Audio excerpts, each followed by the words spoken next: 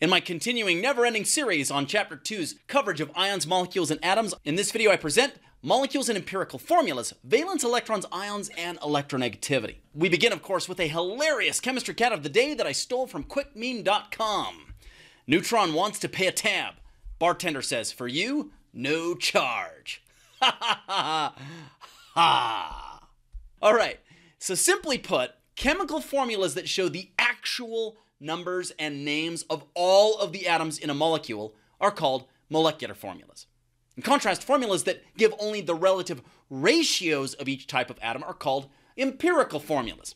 To explain this, let's take a look at an example. The empirical formula of a compound whose molecules contain 12 carbon atoms, 14 hydrogen atoms, and 6 oxygen atoms is which of the following?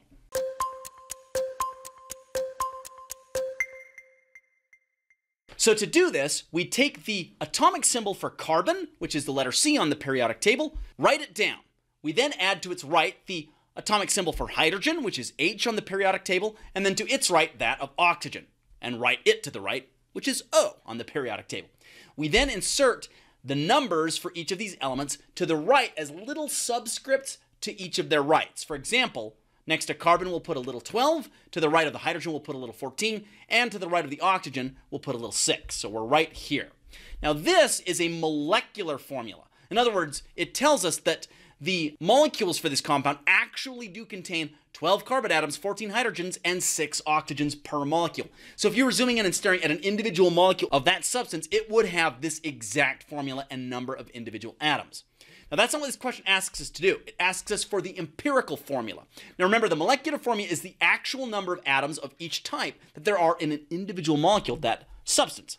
An empirical formula is what happens if you take each of these numbers and divide them by whatever number you need in order to get to the smallest possible whole number ratio. In this case, you can see that each of these is divisible by 2.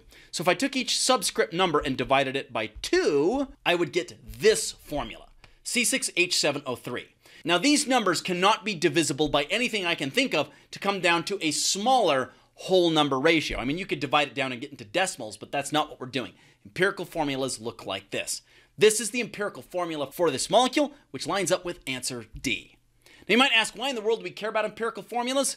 Well, I'll teach that to my university students in class. We now move on to this subject. What are valence electrons? So all elements have a certain number of total electrons, which is equal to their number of protons minus their charge. So if you have a totally neutral atom, that is, it has a zero charge, then its number of electrons that are each negatively charged is equal to its number of protons, which are positively charged. Make sense? With that said, not all electrons are the same. You see, there are two different types of electrons valence electrons and core electrons. Valence electrons are the electrons found in the outermost layer of the element or the atom. So if an element were an apple, its valence electrons would be located on the apple's outer skin. All of the other electrons in the atom, located deeper down, are called core electrons. Now, as we'll discuss later on, when elements react with each other, it's almost always the valence electrons, the ones on the outer skin, that are exchanging or being shared, not the core electrons. So, how many valence electrons does an atom have?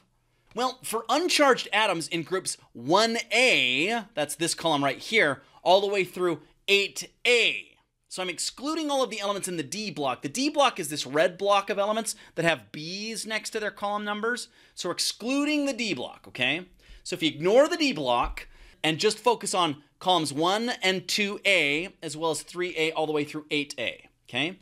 The number of valence electrons is equal to the column number. For example, oxygen is in column 6a, so the total number of valence electrons it has is 6. Fluorine, chlorine, bromine, and iodine, and all of these others right here are in column 7a, so they have 7 valence electrons. Hydrogen and on down are in column 1a, so they have 1 valence electron. Make sense? Good. With that said, we're now going to talk about ions.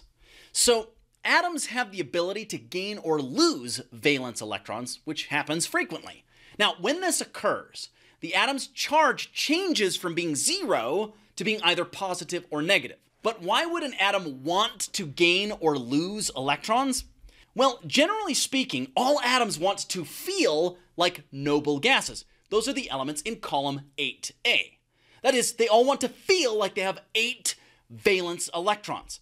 This is called the octet rule. So atoms do this, that is, they attain a feeling electrically of having eight valence electrons by either gaining, losing, or sharing electrons. Now, whenever an atom gains electrons, it becomes negatively charged. Whenever it loses electrons, it becomes positively charged. Now, please remember, each time an element gains one electron, it moves one column to the right in terms of how it feels electrically. In contrast, each time an element loses one electron, it moves one column to the left in terms of how it feels electrically. When atoms become charged by gaining or losing electrons, we call those atoms ions. For example, the elements over here in column 7a are only one column away from column 8a. This means that these elements are going to want to inherit or steal or share one electron to gain a negative one charge and thereby shift one column to the right in order to feel like column 8, having a full octet. Make sense? By comparison, elements in column 6a are two columns away from the noble gas column. Ergo, they will try to steal or share two electrons to obtain a negative 2 charge to feel like the noble gases. By analogy, the elements over here in column 5a will want to be a negative 3 charge. Now, as we go beyond these elements, and I've ignored the transition metals as well as some of these lower elements because they're radioactive and sometimes do other strange, weird things and can sometimes attain different charges. I want to now focus on aluminum. Now, you might look at aluminum and notice that it is one, two, three, four, five columns away from the nearest noble gas, argon. So you might think aluminum is going to want to gain five electrons, a negative five charge, in order to feel like it has a full octet, right? Wrong. You see, elements can lose electrons as well, that is, their outer valence electrons, and by doing so, move columns to the left to feel like the noble gas that precedes them on the periodic table. In other words, aluminum could lose one, two, and then one more, three electrons, so that it go backwards to the left, feeling like a neon, the noble gas that precedes it. And that is a lot easier of a journey. In other words, it's a lot easier to lose three electrons than it is to gain five electrons. Therefore, that is what aluminum does. So when aluminum bonds with other elements, it likes to gain a plus three charge and shift three columns to the left, as opposed to five columns to the right. By analogy, elements in column 2a over here don't want to gain six electrons to have a negative six charge. Instead, it's much easier for them to lose electrons and shift just two columns to the left to attain that noble gas electron configuration of the noble gas that precedes them. So column two elements are going to attain plus two charges, shifting two elements to the left. And by comparison, column one metals are going to attain plus one charges. Hydrogen is interesting because it could attain one electron getting a negative one charge to feel like helium, moving one box to the right, or it could lose one electron to go one box backwards, thereby attaining the theoretical noble gas configuration of the noble gas that would be above helium. Now, that noble gas doesn't exist. Nevertheless, it still has technically a noble gas configuration. So, which of the two does hydrogen do? As it turns out, hydrogen can do either. It can be a negative one or a positive one, depending on what it's bonded to.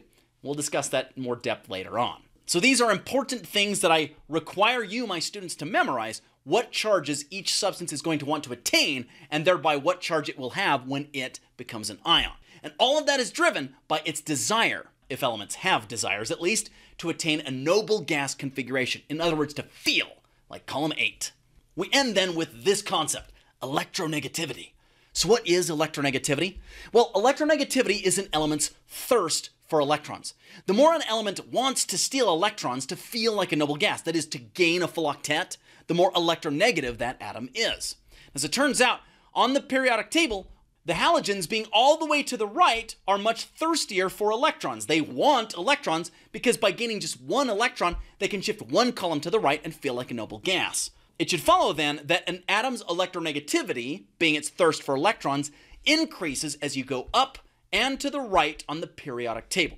We, of course, exclude the noble gases because they don't want any more electrons. They're at the perfect, just right Goldilocks amount of electrons.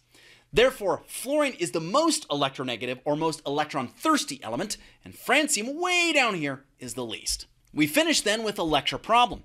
I want you to identify the more electronegative atom in each of the following pairs. Now, I'm not going to show you the answer, but I'll let you try this on your own. Remember, the more electronegative atom is whichever of the two is further to the right and up on the periodic table.